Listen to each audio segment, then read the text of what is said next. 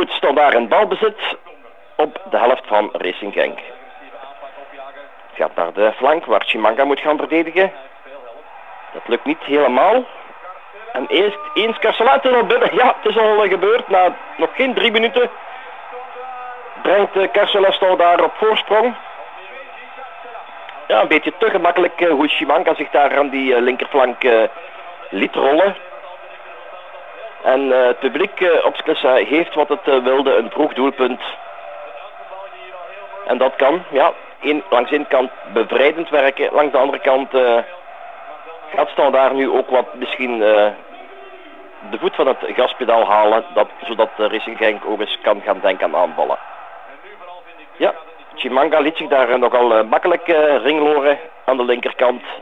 En uh, was de inkomende man die de bal overhoeks uh, binnenschoot. En meteen 1-0 voor uh, daar.